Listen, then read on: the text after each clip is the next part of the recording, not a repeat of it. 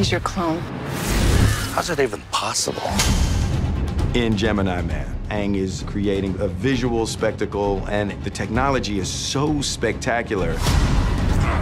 We have a digital human being that Will is actually playing. And that's identical to what you would expect a young Will Smith to look like. Ang really believes that we got to push filmmaking into the 21st century. I was able to build on my past experience in Life of Pi and what I think digital cinema should be doing, which is make it look more real, more immersive, more human. Ang has a very strong vision for this film. We're shooting in 3D plus, this evolutionary format, where you can see so much more in a frame. You really feel like you're there. You see detail in the fights and detail in the motion that would be buried in blur at a normal film format.